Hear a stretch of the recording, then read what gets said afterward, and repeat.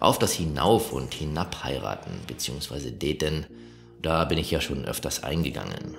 Frauen daten und heiraten dort, wo Sicherheit, Beständigkeit, Macht und Einfluss geboten sind.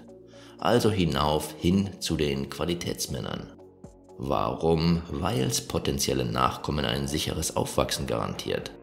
Du bekommst also Bonuspunkte von ihr. Erstens, wenn du konkurrenzfähig in deinem Leben bist, du also selbiges im Griff hast und zweitens, wenn du soziale Fähigkeiten mitbringst, inklusive einem hochwertigen Elternhaus.